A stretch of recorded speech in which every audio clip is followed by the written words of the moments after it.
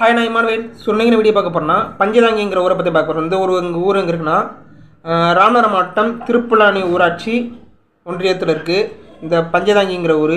இந்த ஊர் வந்து திருப்பலானில் இருந்து ரகுநாதம் போகிற வழியில் ரெண்டு கிலோமீட்டர் தொலைவில் தான் இந்த ஒரு ஊர் இருக்குது இந்த ஊரில் வந்து எப்படி இருக்குன்னா பனைமரங்கள் சூழ்ந்த சூழ்ந்த செம்மண் காடாக தான் இந்த ஊர் இருக்குமா? செம்மண் காடாக பனைமரங்கள் சூழ்ந்துருக்குமா? பல இடங்களில் இந்த ஊரில் தென்னந்தோப்புகளும் இருக்குது இந்த ஊரில் இருக்க முக்கியமான விஷயம்னா இந்த ஊரில் இருக்கிற பனை மரங்களோட விதை கொட்டைகள் இருக்கும்ல பனைக்கொட்டை இதெல்லாம் ரொம்ப பெரிய அளவில் இருக்குன்னு சொல்லப்படுது. இந்த ஊரோட வராத நீ பார்க்க போகிறோம் பார்க்கலாமா? இந்த ஊருக்கு பெயர் எப்படி வந்துச்சுன்னு கேட்டிங்கன்னா சேதுக்கரையில் இருக்கிற இராணுவ பயிற்சி மையம் அதாவது ஆங்கிலேயர்களோட இராணுவ பயிற்சி மையம். ஆங்கிலேயர்கள் வெள்ளைக்காரர்களாக இருந்த காட்டாயம் பீரியடில் சேதுக்கரையில் இருக்கிற ஆங்கில பயிற்சி மையத்துக்கு பல ஆங்கிலேயர்கள் வந்து வருவாங்க. அப்போ வந்து இப்போ இருக்கிற இந்த பஞ்சதங்கிங்கிற ஊர் வந்து அந்த டைம் பீரியடில் என்ன சொல்லுவாங்கன்னா வெள்ளைக்காரன் கொட்டகை அப்படின்னு சொல்லுவாங்க. வெள்ளைக்காரர்களை பயன்படுத்தின பயன்படுத்தின ஒரு மிகப்பெரிய ஊர் தான் இந்த ஒரு ஊர். இந்த ஊர்லேயே வந்து பல தோப்புகளில் வெள்ளைக்காரர்கள் ஆங்கிலேயர்கள் பயன்படுத்தினா பல கட்டிடங்கள் அதோட இடர்பாடுகள் இன்னைக்கு வரைக்கும் இந்த பஞ்சதங்கிங்கிற ஊரில் போய் பார்க்க முடியும். ஆங்கில ஆட்சி ஆட்சியில் வந்து தனுஷ்கோடியிலேருந்து சேதுக்கரைக்கு வந்து படகு போக்குவரத்து நடந்திருக்கு. தனுஷ்கோடியிலேருந்து சேதுக்கரைக்கு வந்து படகு போக்குவரத்து நடந்திருக்கு. அப்போ சேதுக்கரையிலேருந்து பஞ்சதங்கி பிச்சா வலசை செங்கல் நீரோடை. செங்கல் நீரோடை. இது வழியாக கீழக்கரை வரைக்குமே படகுத்தோட போ போக்குவரத்து நடந்திருக்கு. எல்லாமே இந்த நதிகள் ஓரமாக தான் நடந்திருக்கு. கரெக்டாக பார்த்துங்க சேதுக்கரையிலேருந்து பஞ்சதங்கி இந்த ஊர். அடுத்து பிச்சா வலசை செங்கல் நீரோடை அப்படிங்கிற அந்த ஊர் வழியாகவும் கீழக்கரை வரைக்குமே இந்த படகு போக்குவரத்து நடந்திருக்கு.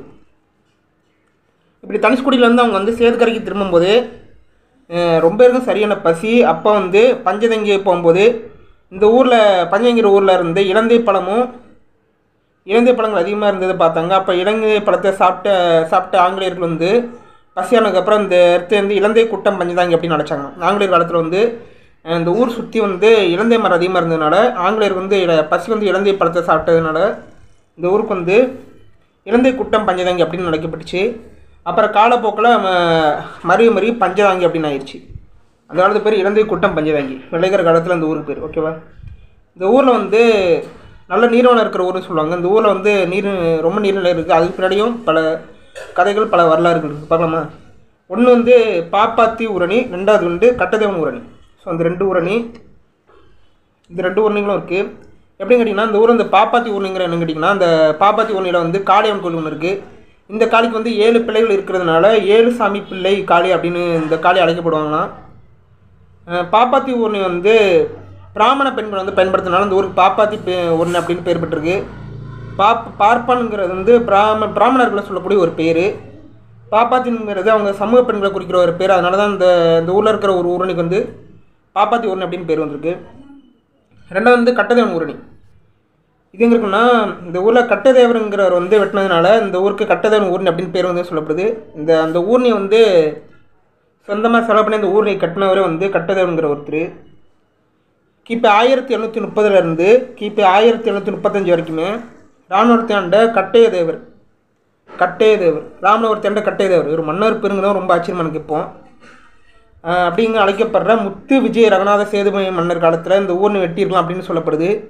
இதனாலேயே அந்த பேர் வந்து அழைக்கப்பட்ட அந்த ஊர்னி வந்து இந்த கட்டதேவன் ஊர்னி அழைக்கப்பட்ட அந்த ஊ- ஊர்னி வந்து காலப்போக்கில் வந்து மாறி மாறி மாறி கடத்த ஊர்னி அப்படிங்கிற பேரில் அழைக்கப்படுது.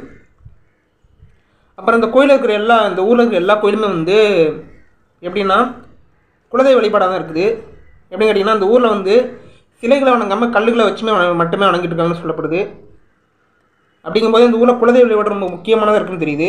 ஒவ்வொரு கோயிலும் சொல்கிறேன் கழுவடியான் கோவில் அப்புறம் காளியம்மன் கோயில் கருப்புசாமி கோயில் ஐயனார் கோயில் முனியசாமி கோயில் முனீஸ்வரன் கோயில் மாடசாமி கோயில். இப்படி பல குலதெய்வங்களோட குலதெய்வ வழிபாடு மிக்க ஊராக தான் இந்த ஒரு பஞ்சதங்கி ஊராக இருக்குது இதான் அந்த பஞ்சதங்கி ஊரோட வரலாறு.